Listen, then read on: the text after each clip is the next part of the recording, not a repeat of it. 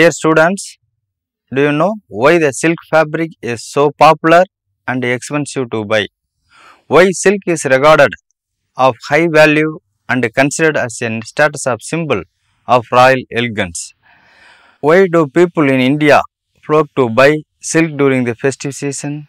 Let us go through this topic to understand the basic of sericulture. In India, silk is a way of life. Over thousands of years, it has become an inseparable part of Indian culture and it's a royal tradition. No ritual is complete without silk being used as a wear in some form or other. Because of its unique softness and luster, silk is highly valued by the fashion industry. It has established a benchmark of luxury and wealth. Silk has an extreme durable nature and can be dyed in a huge array of colors. Due to its excellent moisture absorption capacity, it gives a soft feel to your skin so that you can feel warm in winters and cool during summers. Silk is an undisputed queen of textiles over the century and is widely used as a fabric in cloths, curtains, neckties, scarves and home furnishings. The process of involved in the production of silk is very time consuming and often labor intensive. Sericulture is a cottage industry that produces silks. It is a mode of employment in several developing and labor rich countries. History of sericulture Historical evidence shows that silk was the first discovered in China by Empress Xi Ling Sai, the 14 year old bride of Emperor Hong Dai, the so called Yellow Emperor. Legends tells that she was sitting under the mulberry tree drinking a cup of tea and a silk cocoon fell from above the, into the tea cup. While trying to recover the cocoon from the hot liquid with a spoon, she discovered that the very fine and long lustrous thread unwound itself from the cocoon. She discovered the silk and the process obtaining it from the cocoons. Thus, the silk industry came into being. In the beginning, silk was worn only by the royal family. The Chinese guarded the secret of producing silk for 100 years in the Chongdong province. From China, the secret of silk making spread to the Tibet when a Chinese princess carrying silkworm eggs and mulberry seeds in her head apparel married a king of Khotan in Tibet. From the Tibet, it spread to India in 140 BC and then slowly to Persia. According to the ancient Indian scholars, silkworms were first domesticated in foothills in, of Himalayas. British East India Company exploited the silk industry and exported large quantities of silk from West Bengal to England. In 1836, denied on privatization of the sericulture industry was developed in Mysore and Jammu and Kashmir. Each sericulture state in India has a traditional reputation for particular kind of silk goods from the ancient times. For example, Banaras silks, Kashmir silks, Bengal silks, Mysore silk and Kanchipuram silks. You have learned about the history of silk and sericulture. Now, let us understand the definition of the sericulture and the process involved in the production of silks. Definition of the sericulture. Silk, also called as a queen of fibers, is a protein fiber produced from the silk glands of silkworms. The techniques of the silk production or silk farming is known as sericulture.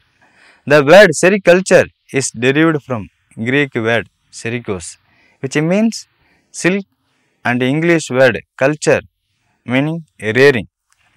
Sericulture refers to the conscious mass scale rearing of silk producing organisms to obtain silks. Sericulture is an agro based, labor intensive, rural cottage industry.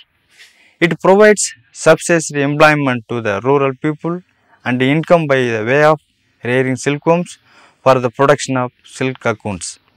Sericulture involved cultivation of mulberry to produce leaf rearing of silkworm to convert the leaf to cocoon, reeling of cocoon to obtain the silk yarn, and weaving to convert the yarn to fabrics.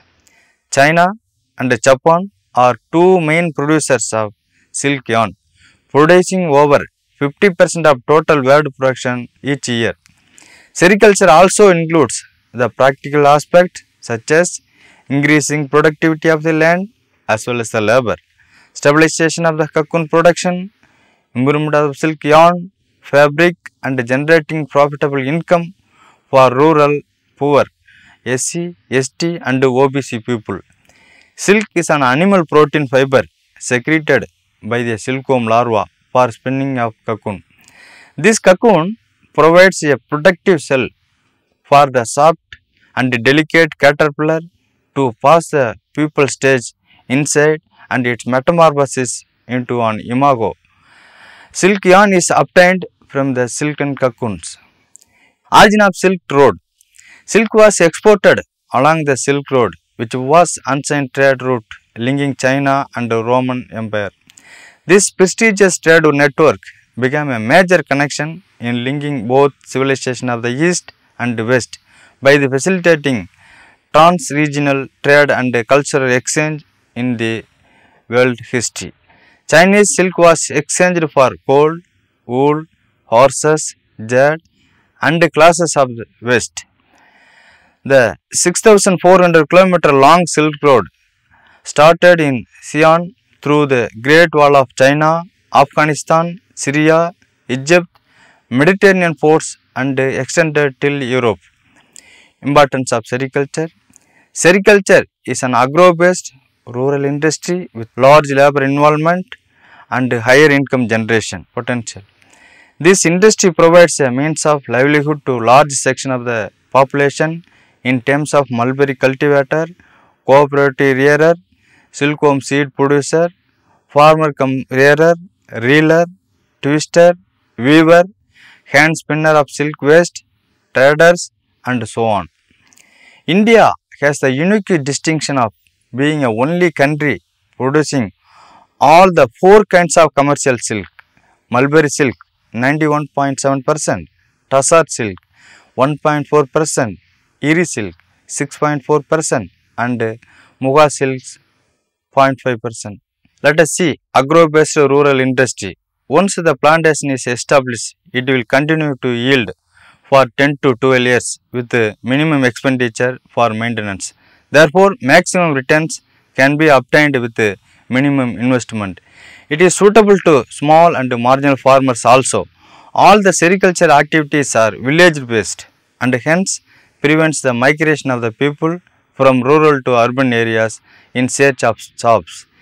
It is a only one cash crop in agriculture sector that gives the returns within 30 days. Silk being an expensive commodity is used mostly by affluent society and hence transfer of money from rich to poor is ensured. Mulberry ensure higher income per unit area than that from a number of agriculture crops. Sericulture gives a big income 5 to 6 times a year. Sericulture mostly requires use of simple appliances which are easily available in rural areas. In drought conditions, when most of the agriculture crops do not revive even after a few showers, mulberry being a perennial crop sprouts and yield leaves for rearing silkworms. Sericulture provides self-employment opportunities to the educated unemployed youth in the varied sectors. Let us see the benefits of sericulture. Many byproducts are obtained from sericulture activities.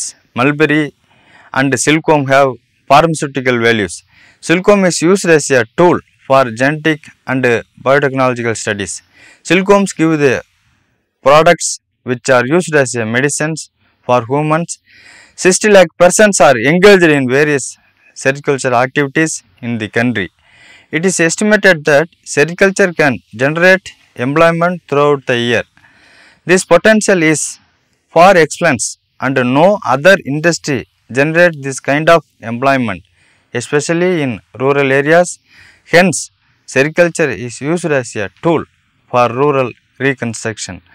About 57% of the cross value of the silk fabrics flows back to the cocoon growers with a share of income to the different groups as 56.8 to 8% to cocoon grower, 6.8% to the reeler, 9.1% to the twister, 10.7% to the weaver, 16.6% to the trade. The importance of benefits of sericulture high employment potentiality, provide vibrance to the village economies, low gestation, high returns, woman friendly occupation, ideal program for weaker sections of the society, eco friendly activity. Let us see the sericulture in India. Though India is leading producer of silk in the world, it accounts for just 5% of the global silk market since the bulk of Indian silk trade and silk cloth are consumed domestically. Germany is the largest consumer of Indian silk.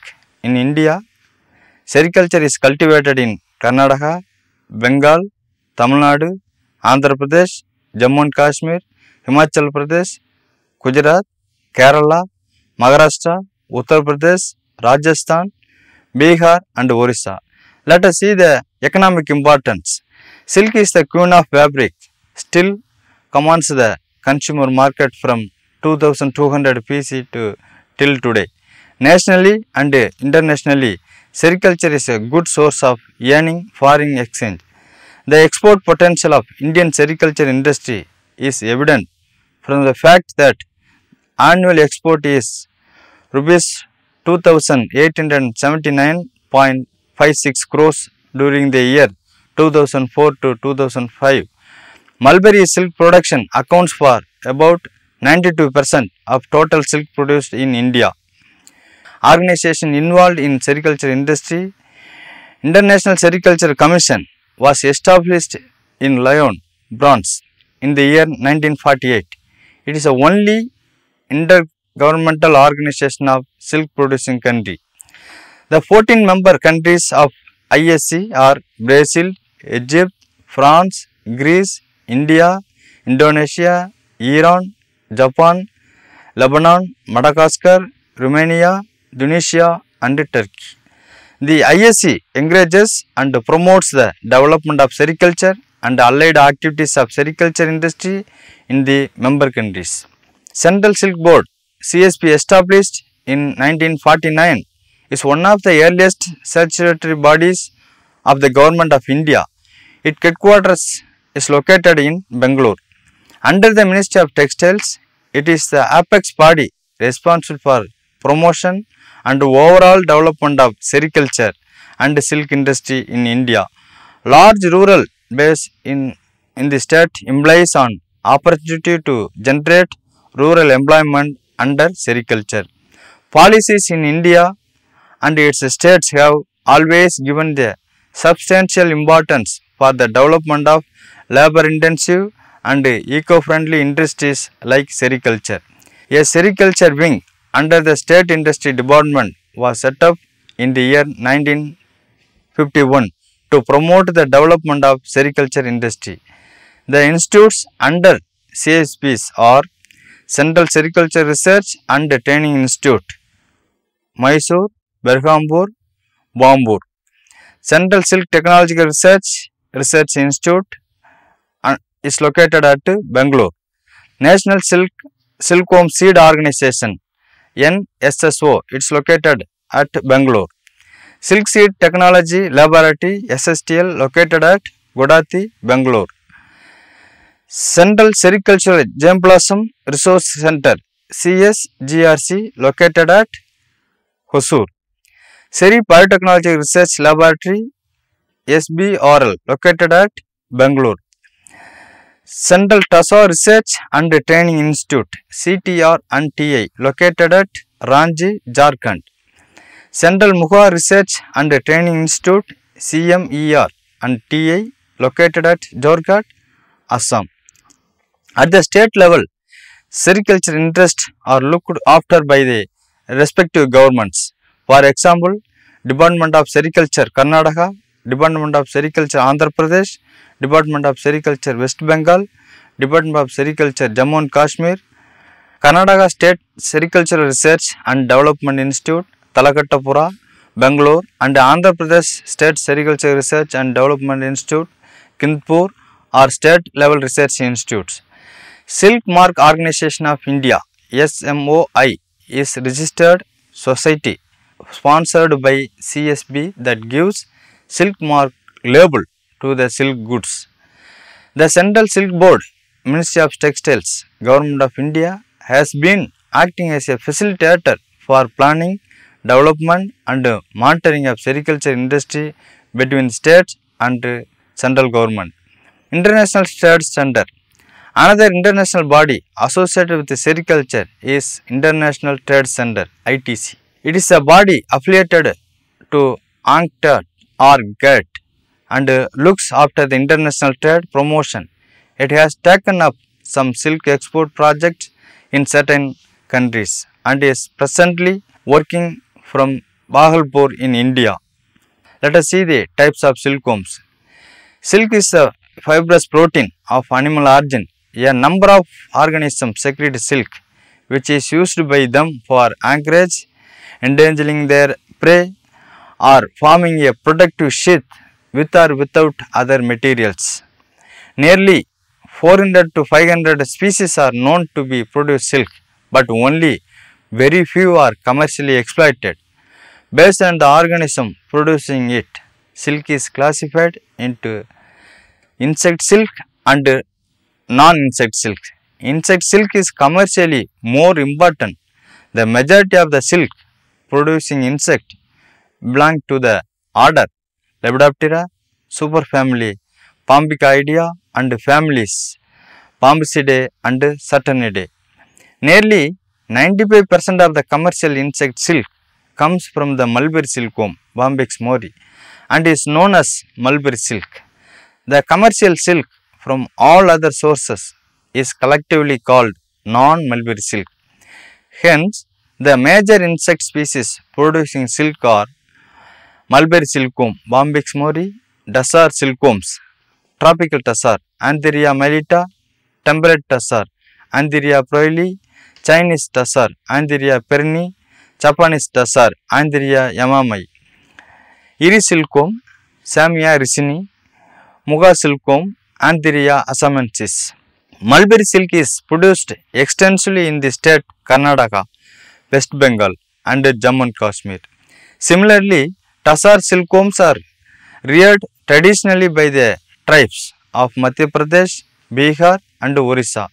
Muga and Eri silk are produced exclusively in Assam. The food plant of silkworms is mulberry for producing mulberry silk.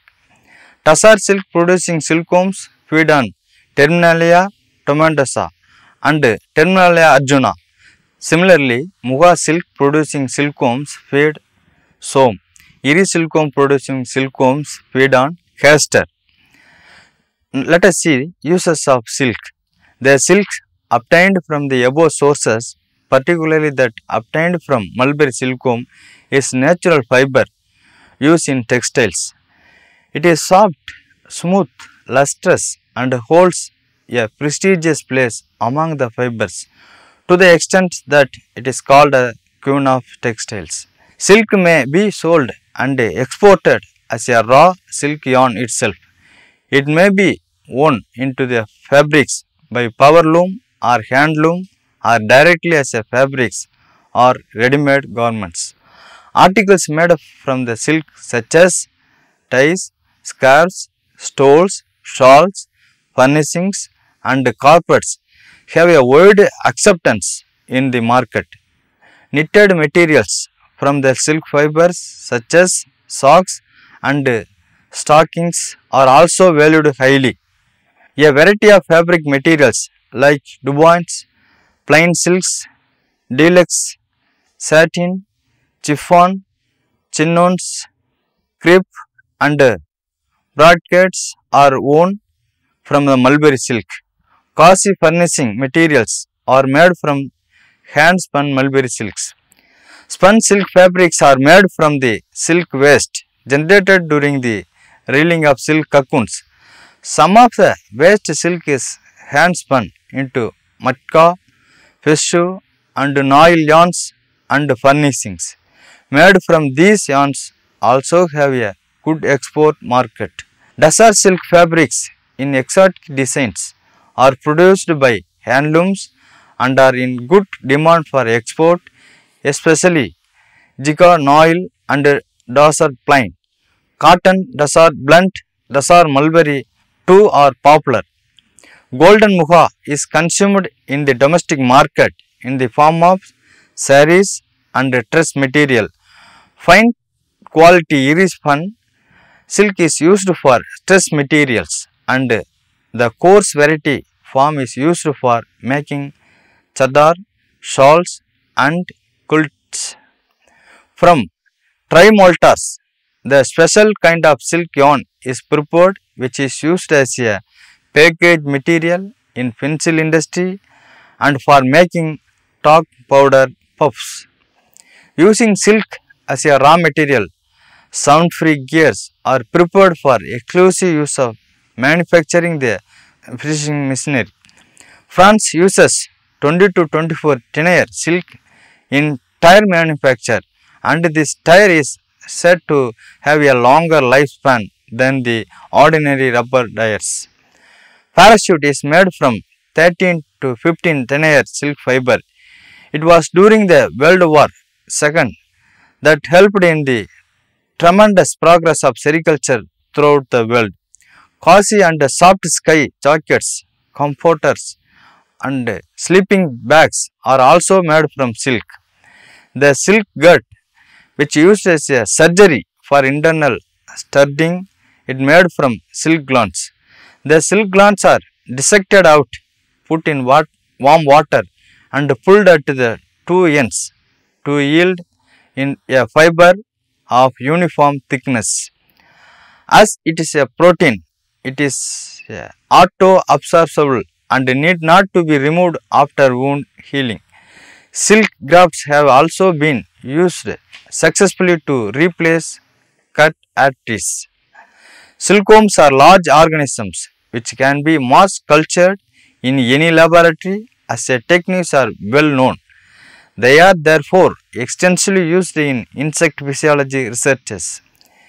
In the wake of genetic engineering, studies using viruses as a cloning vectors, insects, in particular the silkworms are extensively used as a expression systems for desired gene both in vivo and in vitro systems. Let us see the conclusion. In this session, we discussed about the sericulture, its history and its importance. We also discussed about origin of Silk Road and the various organizations that are involved in the sericulture industry. Finally, we classified silkworms and listed the benefits of silk.